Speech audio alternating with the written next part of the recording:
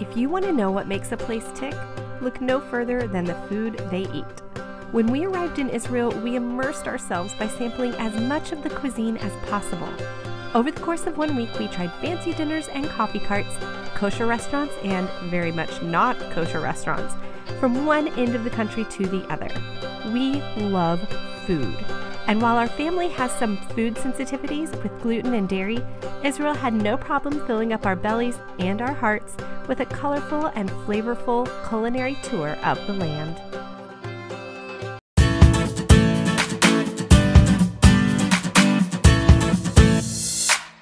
Hey friends, Laura from the future here, real quick. This video series has not been easy to produce.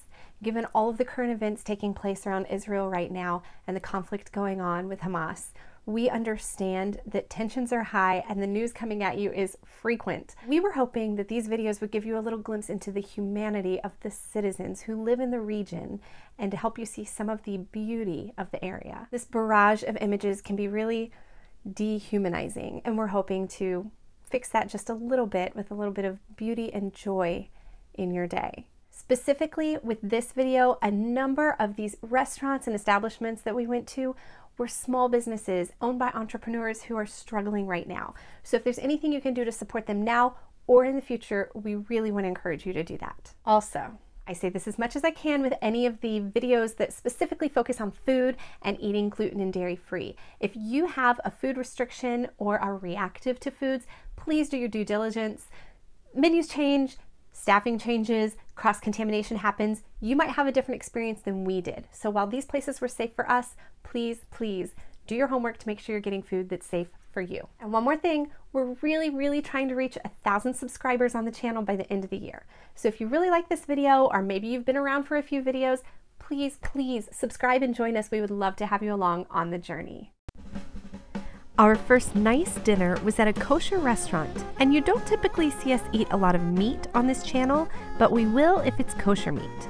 And as a dairy free family, going to a kosher meat restaurant is extra helpful because kosher rules dictate that meat and milk are never served together, so we knew that we wouldn't even have to ask about dairy ingredients in their cooking. We went to Ala'esh, which means on the fire or barbecue, where the chicken, beef, and lamb skewers were grilled to perfection. And for a small added charge, the meal came with an assortment of side salads. And more, more little dishes. Keep them coming. Everything from slaws to pickles to dips like hummus and baba ganoush.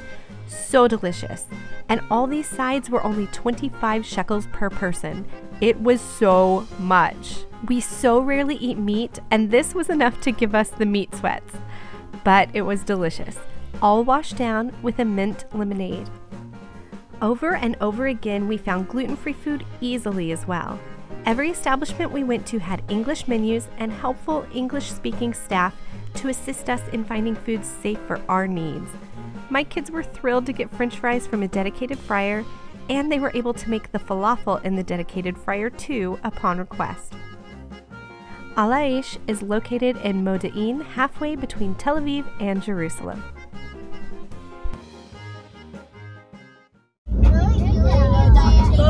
Toe. A booger toe. Not a booger toe. When visiting a new destination, we always look for local gluten free folks for first hand accounts of what restaurants are safe. We started following Jazzy, who has celiac, at the Israel Bites on Instagram, and she was so generous with information about eating gluten free all across Israel. At Jazzy's recommendation, we knew we had to check out the coffee cart scene. We thought for sure this random dead end meant Google Maps had sent us the wrong way. And if you want to drive like a local, you should use Waze. Figure it out. Other people are coming for a coffee, it's gotta be good. But through the gate was the cutest coffee cart Bloom's Coffee. There was a good assortment of gluten free and dairy free sweet treats, and the little kids got apple juice while we ordered an iced latte, a matcha, and this gorgeous cold brew, all with plant based milks. That's so cool. The atmosphere was perfect, with various seating areas and local artist shops nearby.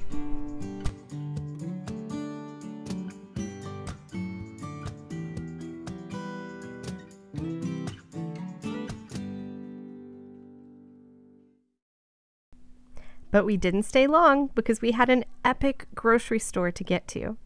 Before we started our gluten free, dairy free diet, we didn't ever consider utilizing the kitchens in our Airbnbs for more than storing the occasional snack. But now we really enjoy a mix of eating out and filling in the gaps with smaller meals cooked in our own kitchen. And Merkaza was the most incredible way to stock that kitchen. That's what she said. Do do do do do do do do do. No, I'm not putting any more that's what she said on the channel. Wait, that's how committed we are to getting you B-roll. We will drive back and forth in front of it. It's very green. Can you help me navigate? Located just outside Nazareth, Merkaza is like the IKEA of grocery stores. In fact, they have a whole floor of home goods, toys, and decor that look a lot like an IKEA. The produce section was gorgeous, but they also had a full selection of gluten free items. You can see how we grilled a feast with some of our shopping in our video about glamping at the Dead Sea. I'll be honest, I got lost trying to take my groceries back to the car in the garage and then re enter to find the food court for our lunch. I could not figure out which elevator to take to which floor. This place is massive.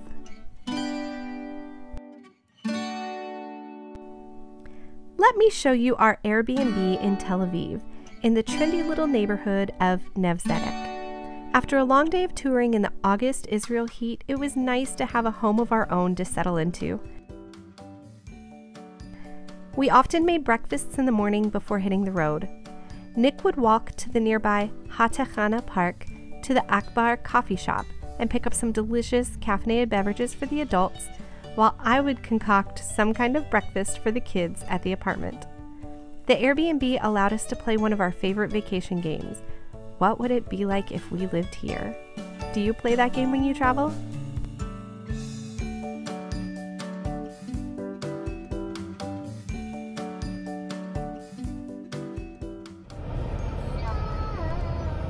For our day in Jerusalem, we went to one of the places we had heard Jazzy rave about the most Kazze a 100% gluten free pizza and wine bar with incredible pasta and pastry options, and lots to choose from for our dairy free diet. The seating was limited, but we ended up outside and the breezy shade was lovely. We started out ordering pizza and pasta, but then I started asking what was dairy free in the pastries, and he showed me some of the desserts. The cookies have butter, but all the other desserts that were available, and some of the other pastry items like the burekas with um, potato inside, are dairy free, which is shocking for paste, like a puff pastry kind of uh, crust. So I'm really excited to try those.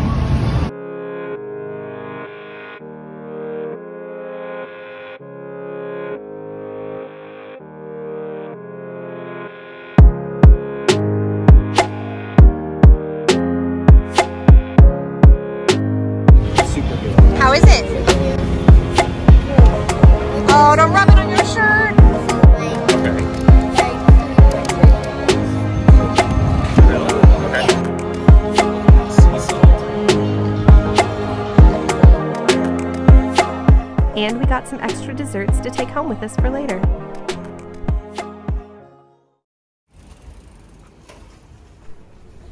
In Jerusalem, you must go to the market, or shuk, to experience the quintessential buzz and bustle of the city. All the open air bakeries just smell so good. I'm a sucker for a good pastry. At Mahane Yehuda Market, we found loads of gluten free vendors, starting with Gluless. They had fluffy breads, pitas, and challahs that you would not believe were gluten free. There were lots of familiar brands on their shelves and some interesting new things too.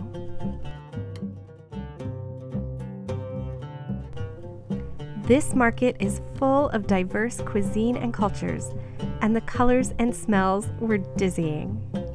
At Hummus Eliyahu, which we'd seen good reviews of on the Find Me Gluten Free app, they had lots of gluten free signage.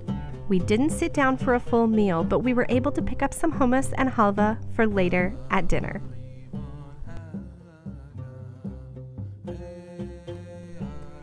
Our last stop was at Judith, a bakery that had just opened a few days before our visit. The owner also owns a loaded potato bar next door that is gluten free too. but we were here for the marble cake and the challah bread. The market was a swirl of cultures and people that made this a perfect introduction to Jerusalem. Just because we're in Israel doesn't mean it can't be Taco Tuesday. Now we head back to Tel Aviv, a true modern city with a coastal, beachy vibe that reminds me of part New York and part Miami. Yep, that's how you spell taqueria with Hebrew letters. The corn tortillas and extensive vegan options made this an easy gluten free, dairy free destination for our family. And the burritos had the option of subbing a red lentil tortilla, which I really liked. I never get a full size burrito option. The kids' tacos had beans, while Nick went for mushrooms. And of course, a margarita. The customers and staff were all young and hip, like so much of Tel Aviv. And, as is often the case in this city, this was a non kosher establishment, in case the prawns and pork shoulder on the menu didn't tip you off. Axon fell asleep before we made it to tacos. But those tacos were really yummy. What's more is the menu was really well labeled. So, great option if you're looking for gluten free or vegan. Sometimes the food we eat on the channel is about finding that groundbreaking gluten free thing you can never get your hands on but tonight was more about adding a little variation to our Israel experience because the kids have now had some more traditional Israeli foods with all those dips and salads and um, things like that for a few days in a row now and they were ready to get a little bit of a different cuisine. So to be able to get tacos and Mexican was nice. And it got us out of Neve to see more of Tel Aviv, still walking distance from our Airbnb, but feels very much like New York City, just everything's in Hebrew. When they say location, location, location can make or break your vacation, they were talking about choosing an Airbnb just a short walk from excellent vegan ice cream. Anita Gelato has an adorable retro style, and they can be found from Barcelona to Sydney to San Juan, and even in New York City but we preferred the location in our Neve Tzedek neighborhood. The scoops were generous and the kids got to choose two flavors in each cup. What did you get? Dark chocolate and coconut. Dark chocolate coconut. Whoa. After a second full sunny day in the Jerusalem heat, we had a quick lunch with very tired children at Cafe Nadi. The fresh fruit smoothies were the perfect pick me up. And again, that amazing gluten free bread made for perfectly soft sandwiches with gorgeous salads on the side.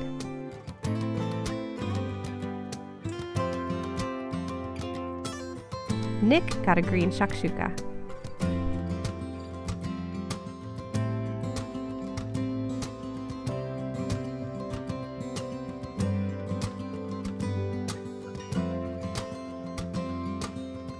How was your lunch? Good. The gluten-free bread is incredible. I don't know where they get these breads. First, the one we had at Kalia, the glam site, and now this are so good. They have mastered the art of using tapioca to make it just chewy and fluffy and not dry at all. She said, if you're not getting cream cheese on the salmon sandwich, you'll need something to make sure it's not dry. Didn't need a thing. It's kind of like a brioche. Yeah, yeah. And this. Thank you so much. This has cardamom and rose water. It kind of tastes like what walking through the shuk feels like. It was a really hot and exhausting day. Eat your vegetables, all the colors, and it will make you feel vastly better really quickly. Not to mention some of the best coffee in Jerusalem. That was amazing. I feel like it brought me back to life. I wanted water. Oh, no, no.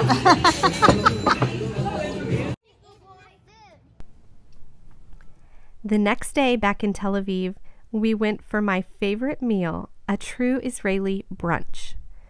One Israeli friend shared with me that Israel is the second most vegan friendly country to visit after India, and I believe it. Every restaurant was filled with vegetables and colorful salads that showcased the produce from the land. Even the kosher meat restaurants had vegan options. We are dairy free and we had no problem finding milk substitutes or dishes without cheese everywhere we went. This includes our breakfast at Benedict, where they serve breakfast 24 7. There was a bit of a wait for this popular spot. This is clearly the place that tourists come for breakfast, brunch, before heading to the beach because numerous people have shown up with swimsuits under their clothes and beach chairs. And uh, I have heard Russian and French and what I think was Dutch and um, Italian. And so, uh, a very international crowd here today. As they say at Benedict, a great day starts with a great breakfast. And Nick got eggs with an assortment of sides and dips, but I went with the traditional shakshuka with runny eggs and soft gluten free bread for dipping. I Finally got one in the package so we can identify what it is. This vegan cream cheese is wildly good. Shakshuka. We can't recommend this place enough before a busy day in Tel Aviv playing on the beach or taking in an art museum. On our Tel Aviv day, we went to Sarona Market, an indoor market much like something you'd find in New York City, but with a distinctly Israeli flavor. Hey, we have a Miznon at Chelsea Market in NYC. One shop, Annis, was full of vegan and gluten free treats, which was perfect for us because the next day we were flying home and needed to pack some food for the plane. We even found our favorite green light breads in the freezer case. And it was fun to see some of our favorite brands from home, but with Hebrew packaging. With all these tomatoes. Why are you getting married to tomatoes? From Sarona Market, we walked about 20 minutes past the Israeli Opera and the Tel Aviv Museum of Art to Malka for a final night feast to cap off our vacation.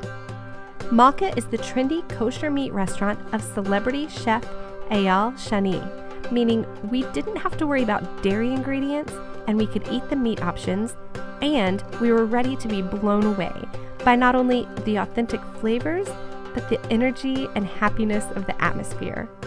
The vast majority of the dishes are naturally gluten free, so we chose from those rather than adapting things to our needs. We started with wine from Israeli vineyards.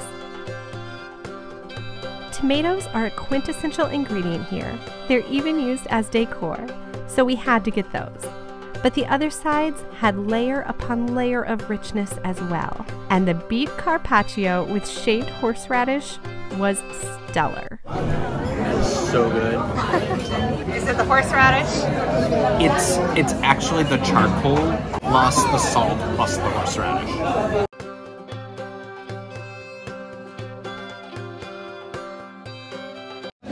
Char? Unreal. For my entree, I ordered the lamb osso buco. It was fall off the bone tender with the softest squash and a rich broth, and a whole bunch of roasted grapes still on the vine. The kids love this dish. Nobody even asked for ketchup. Never in my life even had the opportunity to try asabuco. So here we go.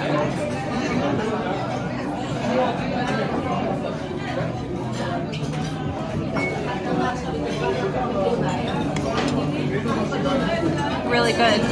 Really good lamb. And Nick got a whole branzino with loads of roasted vegetables. Asher tried eating the fish eyeball. Ready? Okay.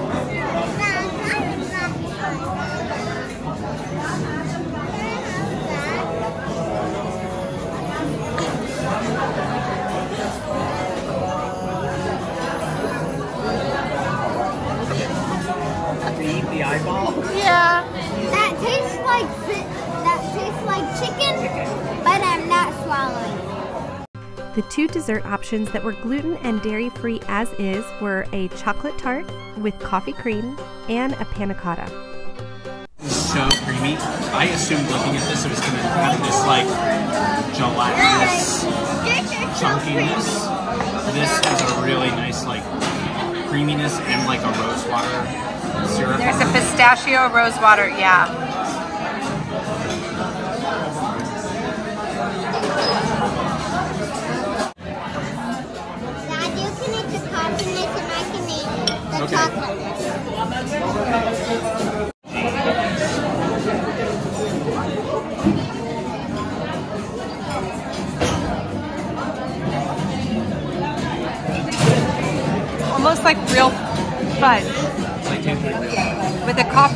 Coffee. I'm like, no notes. I would like a do-over on dinner where I get four of those. oh my gosh. This was a meal we will never forget. We were excited to learn that Malka will be opening in New York City soon, and we can't wait to visit. We had ice cream before dinner. So I went in there completely full and still ate it all. As a bonus, we found a great gluten free surprise at Ben Gurion Airport right before our red eye back to JFK a gluten free vending machine. While the kids played at the play area in the terminal, I taste tested the red lentil wrap with turkey and cabbage slaw. Throw, throw, throw. Oh, here's the one Want to try it? No? Wanna try it? I'm not the pot. No, this is my pot. I need one understands. That's weird. But I don't, I don't have to. The wrap is very gummy. It's sticking to my fingers. And there's like one slice of chicken or turkey pastrami in there with a bunch of cabbage. So most of the flavor is cabbage because I don't think there's any mayo or anything there to give it a creaminess. So it's a little bit bitter, a little bit crumbly and kind of what you think a vending machine wrap would be. But it's an option. The red lentil wrap is gummy and crumbly, but the turkey pastrami is good and there's some hummus in there. So it's not altogether a loss. I don't know, for 25 shekel, I would want more than a turkey roll-up, but it's okay. Since coming home, we keep finding ourselves making hummus and shakshuka and schnitzel. It's clear that the food of Israel left an impact on us that we won't soon forget. Join us next time to see some incredible family friendly sites all around Israel. We'll see you next time, travelers.